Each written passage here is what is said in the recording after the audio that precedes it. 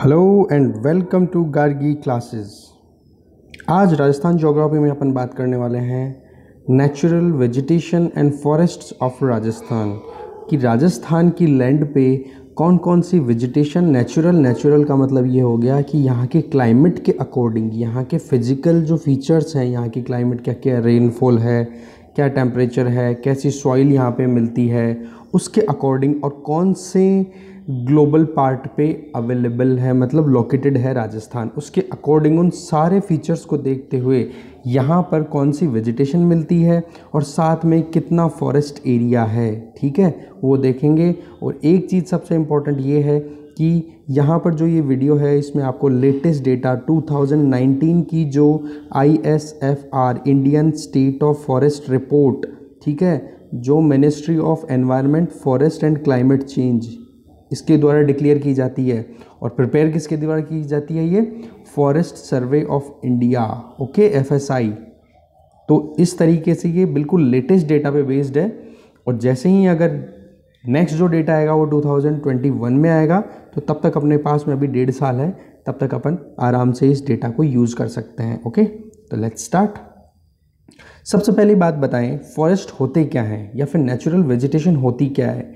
ये एक तरीके के बहुत ही इंपॉर्टेंट नेचुरल रिसोर्सेज होते हैं, जो कि एनवायरनमेंट को प्रोटेक्ट करने में बहुत अहम रोल प्ले करते हैं। और किसी भी पर्टिकुलर रीजन में अगर बायो वेजिटेशनल रेशो अपने पास में ज़्यादा है बायो वेजिटेशनल रेशो का मतलब जहाँ पर बायोलॉजिकली जो वेजिटेशंस होती है, वो वहाँ पर अवेलेबल हो, उसका अगर रेशो ज़्यादा है मतलब ज़्यादा फैला हुआ है, ज़्यादा डेंसिटी में है तो वो लैंड को भी रिच बना देती है पुअर लैंड को रिच बना देती है, ठीक है? और लैंड को गुड कंडीशन में रखती है।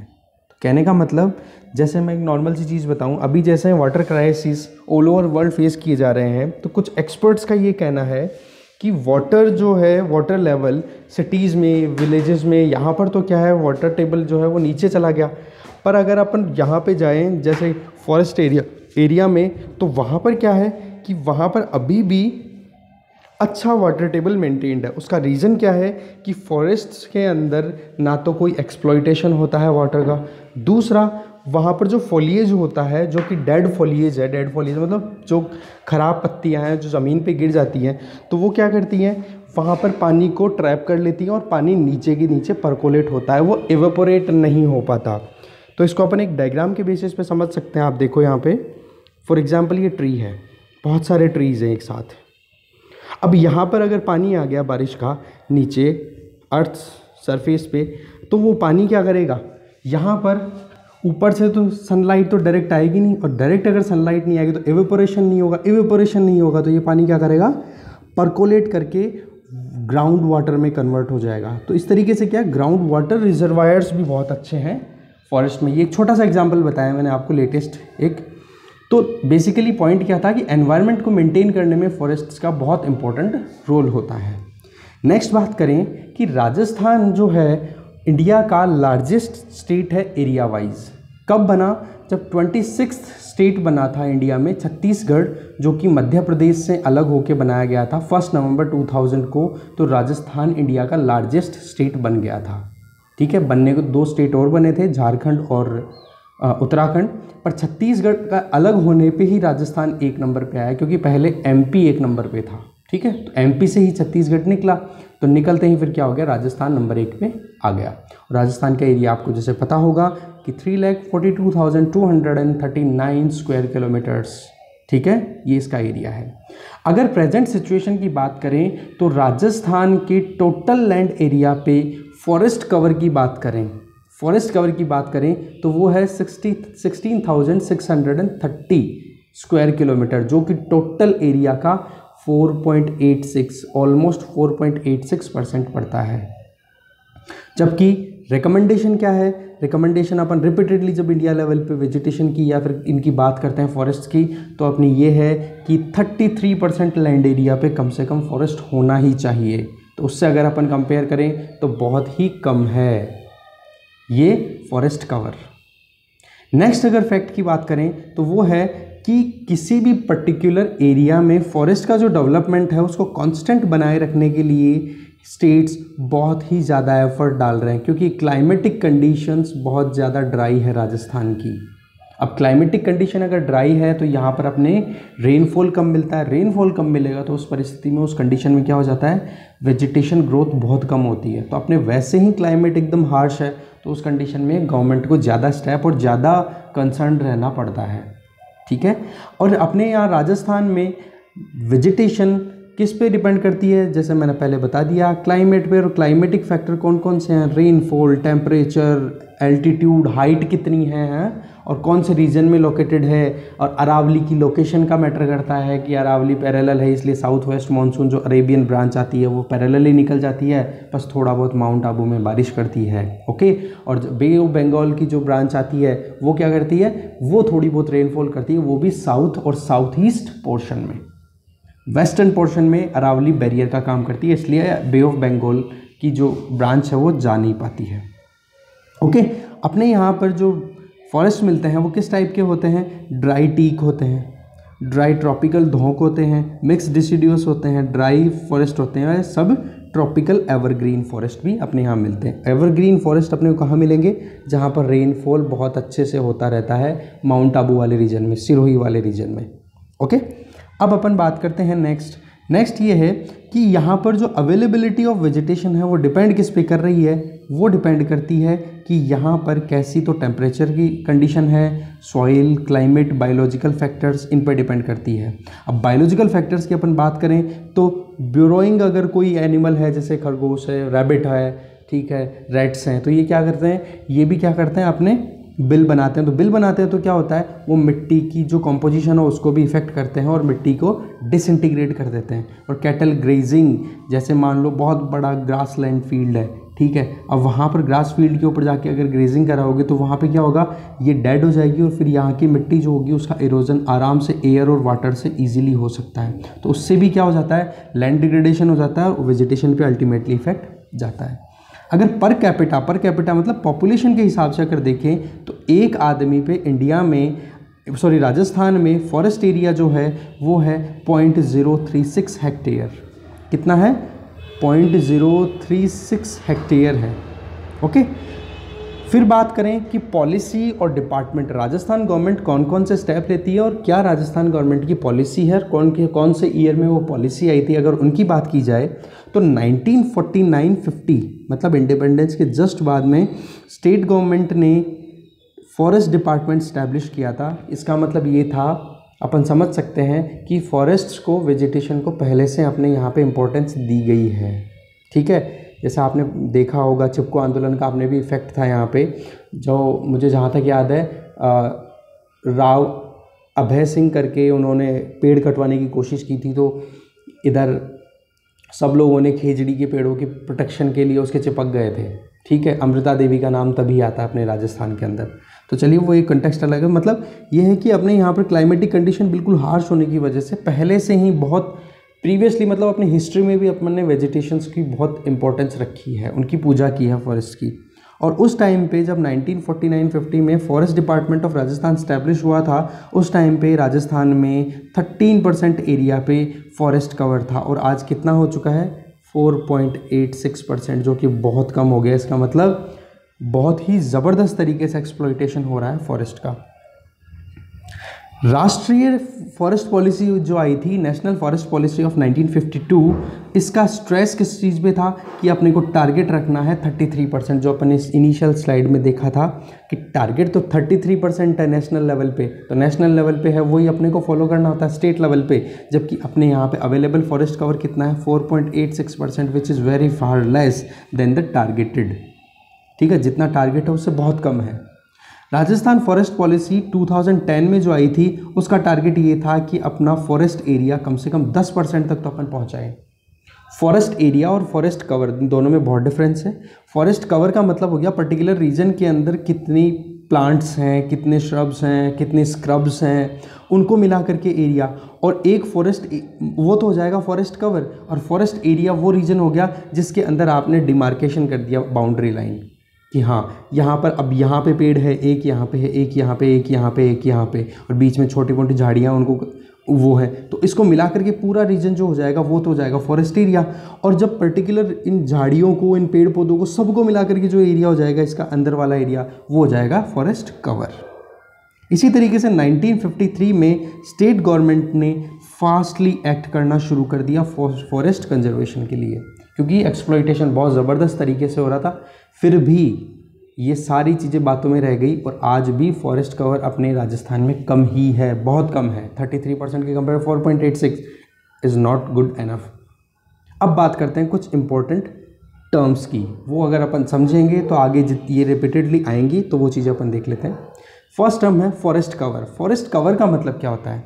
फॉरेस्ट कवर का मतलब होता है वो लैंड जिस पे more than one hectare area है। हेक्टर नहीं है हेक्टेयर है। हेक्टेयर एरिया और उसमें कैनोपी डेंसिटी कम मोर देन टेन परसेंट हो। मान लो ये सौ किलो, सौ स्क्वायर किलोमीटर का एरिया है, ठीक है? उस सौ सौ किलोमीटर स्क्वायर एरिया के ऊपर दस किलोमीटर स्क्वायर एरिया तो कैनोपी कैनोपी का मतलब क्या हो गया?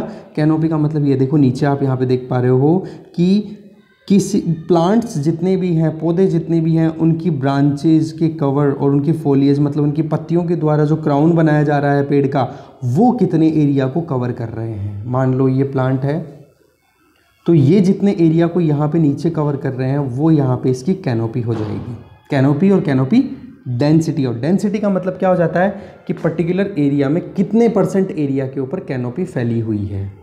ओके अब बात करते हैं अपन रिकॉर्डेड फॉरेस्ट की। रिकॉर्डेड फॉरेस्ट बेसिकली कौन से होते हैं? जिनका गवर्नमेंट के पास रिकॉर्ड मेंटेन होता है। उसको फॉरेस्ट एरिया और रिकॉर्डिंग फॉरेस्ट एरिया बोलते हैं। तो ये यहाँ पे ये चीज़ क्लियर हो गई होगी कि फॉरेस्ट कवर क्या होता है। फॉर रिकॉर्डेड फॉरेस्ट जिसको फॉरेस्ट एरिया भी बोलते हैं, ये क्या होता है और कैनोपी और कैनोपी डेंसिटी क्या होती है। ओके अब चलते हैं नेक्स्ट पे अब जो लेटेस्ट रिपोर्ट जो आई है Rajasthan state of forest report 2019 basically ये पार्ट ही होती है Indian state of forest report का ओके तो उस केस में, एक सेकेंड तो इस तरीके से अपन जो इंडिया की जो Indian state of forest is Indian state of forest report है, उसी का पार्ट होती है Rajasthan state of forest report ठीक है? अब इसके बारे में अपन थोड़ा बेसिक डिटेल गेन करते हैं। ये basically Indian state of forest report 2019 का पार्टी है और ये डिक्लेयर हुआ ये था कब? रिसेंटली जो ये 2019 की जो लेटेस्ट रिपोर्ट है, वो आई थी 30 दिसंबर 2019 को। ये डिक्लेयर की गई थी ministry of environment forest and climate change government India के द्वारा और ये डेवलप की जाती है फॉरेस्ट सर्वे ऑफ़ इंडिया के द्वारा। दिस रिपोर्ट स्टार्टेड ये फ़र्स्ट टाइम रिपोर्ट कब आई थी? 1987 में और अब तक ये सिक्सटीन एडिशन है। 2019 वाला कौन सा है? सिक्सटीन एडिशन है इसका। और ये जो रिपोर्ट है, इसकी सबसे इम्पोर्टेंट खासियत क्या है कि रिसोर्स सेट जो इसरो का सेंड किया हुआ रिमोट सेंसिंग सैटेलाइट है, उसके द्वारा जो डेटा गेन किया गया है, उसका भी इसमें यूज़ हुआ है। रिसोर्स सेट टू उसका भी डेटा यूज़ हुआ है, जो रिमोट सेंसिंग सैटेलाइट है। और रिमोट सेंसिंग सैटेलाइट कौन से होते हैं?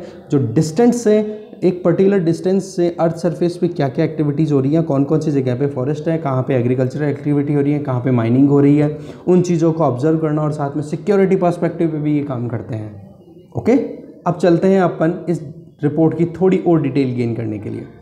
2019 की अगर रिपोर्ट की बात करें तो राजस्थान में 2017 के कंपैरिजन में 57.51 स्क्वायर किलोमीटर एरिया का फॉरेस्ट कवर इंक्रीज हुआ है। तो 2019 में सबसे important fact 57.51 square kilometre area increase हुआ है।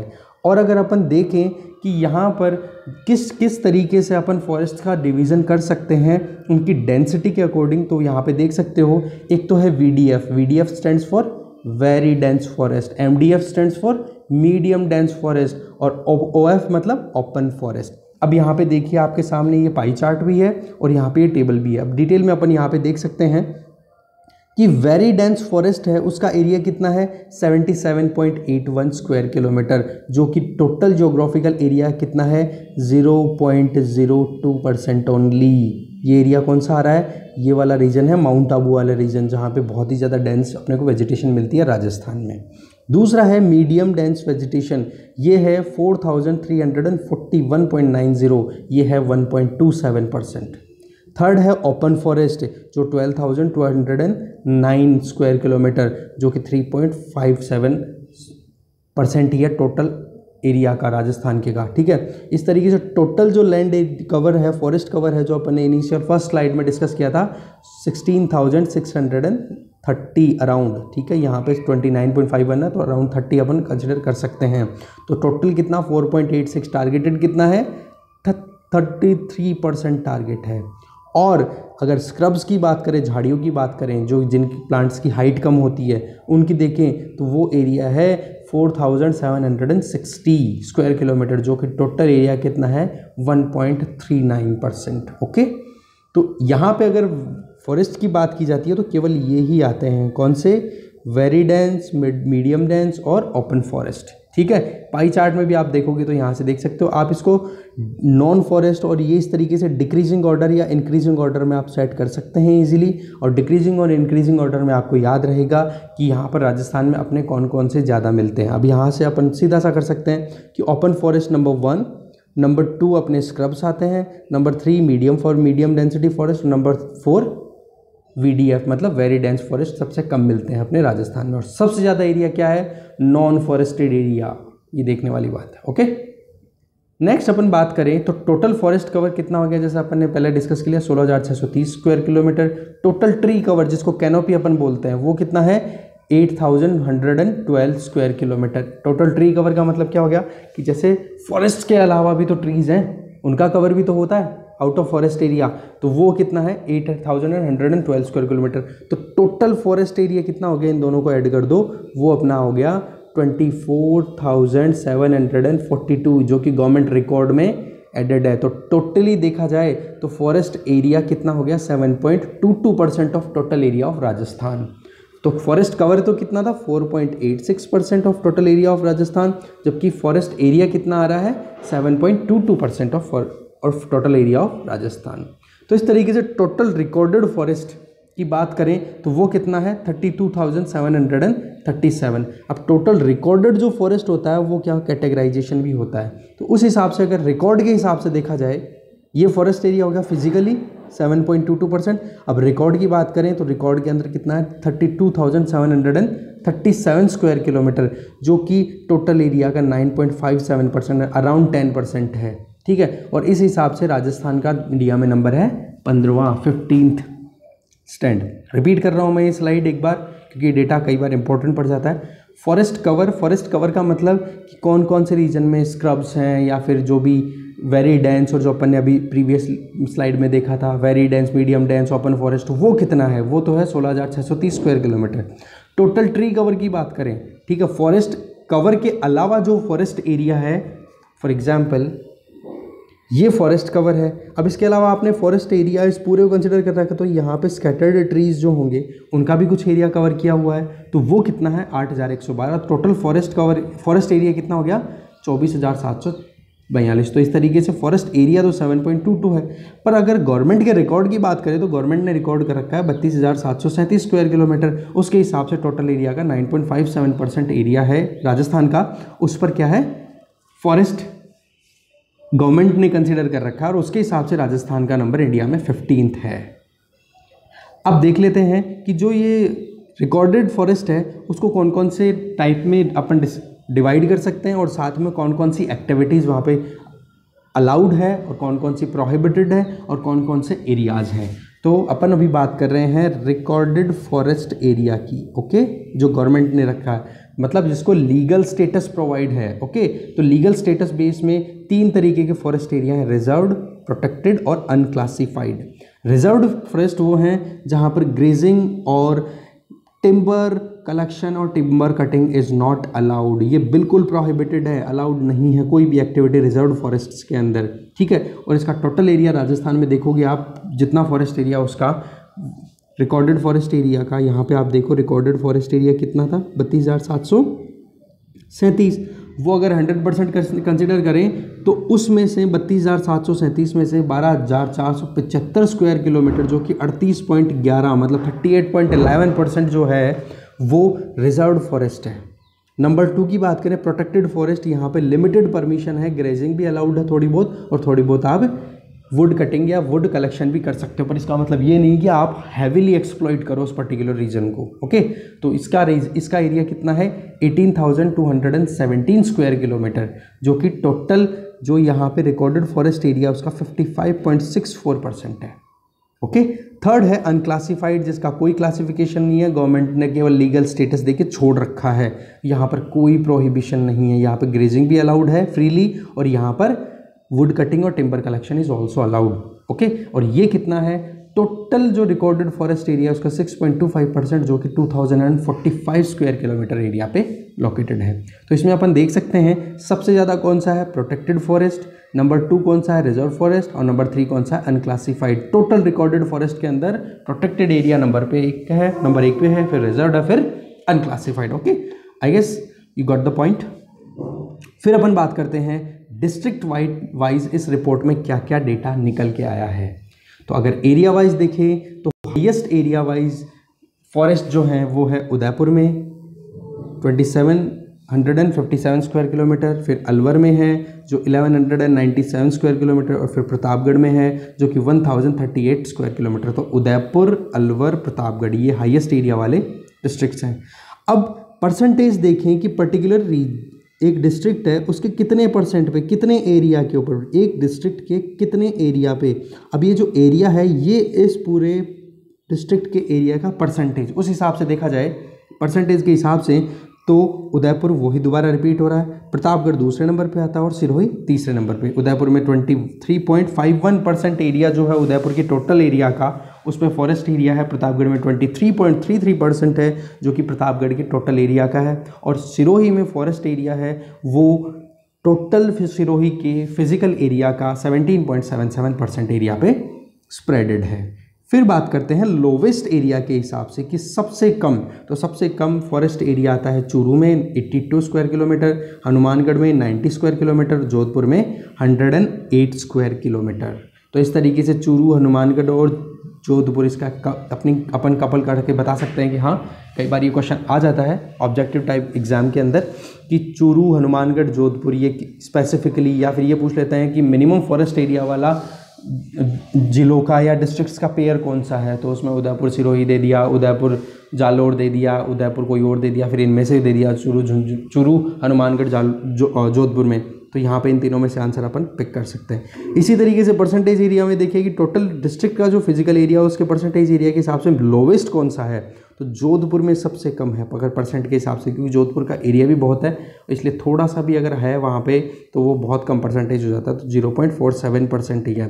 फिर आता है Churu, zero zero point five nine percent और नागौर नागौर की बात करो तो zero point eight three percent of total physical area अब बात करें 2017 की रिपोर्ट के कंपैरिजन में कि कौन कौन से डिस्ट्रिक्ट्स के अंदर फॉरेस्ट कवर जो है वो इंक्रीज हुआ है। तो हाईएस्ट की बात करें तो बाड़मेर, जैसलमेर और डूंगरपुर, इन तीनों के अंदर हाईएस्ट इंक्रीज हुआ, जिसमें बाड़मेर नंबर एक नंबर दो, जैसलमेर और नंबर तीन, डूंगरपुर। इसी तरीके से हाईएस्ट लॉस की बात करें फॉरेस्ट कवर की तो वो कौन कौन से डिस्ट्रिक्ट्स हैं? 2017 की रिपोर्ट के कंपैरिजन में अगर 2019 की रिपोर्ट में देखें तो तो वो हैं उदयपुर, प्रतापगढ़ और झालावाड़। यहाँ पे डेटा इसलिए नहीं रखा क्योंकि ये इंक्रीज और डिक्रीज के अंदर अगर डेटा पूरा याद करने की कोशिश करेंगे, बिल्कुल लर्न नहीं होगा। अपने को थोड़ा सा सेंसिबल भी होना पड़ेगा ओके राइट तो इस तरीके से डिक्रीमेंट किससे कहाँ कहाँ हुआ है? उदयपुर, जहाँ पे परसेंटेज के हिसाब से सबसे ज़्यादा फॉरेस्ट है और एरिया वाइज भी वहाँ पर भी फॉरेस्ट डिक्रीज हुआ। प्रतापगढ़ भी टॉप थ्री के अंदर था और झालावाड़ साथ में ओके फिर नेक्स्ट अपन देखते हैं, यहाँ पे आपके सामने मैप आ गया। आप यहाँ पे आराम से इजीली देख सकते हो कि कौन कौन से रीजन में अपने यहाँ पे राजस्थान में फॉरेस्ट ज़्यादा डेंसली मिलते हैं। तो देखो, एक तो साउथ ईस्ट रीजन है और एक ये रीजन हो गया साउथ रीजन तो साउथ और साउथ ईस्ट रीजन में अपने यहाँ पर ज़्यादा वेजिटेशन है। बाकी देख लो, एकदम स्कैटर्ड है, जिसके अंदर थॉर्नी या धोंक टाइप वेजिटेशन अपने को मिलता है। ठीक है? और उसकी वजह क्या है? जैसे जैसे अपन साउथ ईस्ट से नॉर्थ वेस्ट की तरफ़ जाते हैं, जैसे जैसे साउथ से नॉर्थ की तरफ़ जाते हैं रेनफॉल डिक्रीज होता है। और रेनफॉल अगर डिक्रीज हो रहा है और इवेपोरेशन अगर ज़्यादा हो रहा है तो उस परिस्थिति में ह्यूमिडिटी क्या रहेगी? कम। और ह्यूमिडिटी अगर कम होगी तो उसी तरीके से वेजिटेशन भी कम होता जाता है। तो वेस्टर्न राजस्थान में रेनफॉल कम इवेपोरेशन ज़्यादा, बिल्कुल कम अपने को वेजिटेशन दिख रहा है। फिर आप देखो दूसरा वाला पार्ट अरावली वाले रीजन की बात करें एक बार मैं थोड़ा सा इसको मिटाऊँगा। अरावली वाले रीजन की आप बात कर लो, अरावली वाले रीजन से लेफ़्ट की तरफ़ जो भी है, वहाँ पे रेनफॉल भी कम है इवेपोरेशन भी ज़्यादा है तो उससे वहाँ पे नहीं होगी। फिर वो आप साउथ वाले रीजन में देखो, यहाँ पे माउंट आबू उदयपुर वाले रीजन के अंदर जो साउथ वेस्ट मानसून आता है अरेबियन सागर वाली ब्रांच वो यहाँ पर रेनफॉल अच्छी करती है तो यहाँ पर वेजिटेशन अपने को ज़्यादा मिलती है। इसी तरीके से बे ऑफ़ बंगाल ब्रांच जो आती है, वो इधर से आती है। अब बे ऑफ़ बंगाल ब्रांच जो है, वो यहाँ सबसे पहले स्ट्राइक कहाँ पर कर रही है? हाड़ोती रीजन में तो यहाँ पर रेनफॉल होती है, जहाँ पर विंध्यन कगार लोकेटेड है। इसके लिए अपने फ़िज़िकल डिवीज़न के अंदर डिटेल में पढ़ा है, ठीक है? और अरावली वाला रीजन है, अरावली नॉर्दर्न रीजन के अंदर क्या है अरावली? बिल्कुल हाइट बहुत कम है मॉनेड नॉक्स में है पेनी प्लेन है ये, क्या है? पेनी प्लेन डेविशियन साइकिल के बारे में अपन पढ़ते हैं कई बार तो इरोजन हो हो के बिल्कुल छोटी सी रिवर वो रह गई ये हिल्स जबकि ये सदर्न पोर्शन जो है वो ज़्यादा हाइट वाला है, जहाँ तभी तो माउंट आबू लोकेटेड है सिरोही के अंदर हाईएस्ट पीक ओके अब चलते हैं अपन क्लासिफिकेशन ऑफ़ फॉरेस्ट के ऊपर। इसके बारे में अपन नेक्स्ट लेक्चर में बात करेंगे क्योंकि वीडियो ऑलरेडी बहुत लंबा हो चुका है। तो thank you very much for watching this video next video आपको एक या दो दिन के अंदर ज़रूर मिल जाएगा। Thank you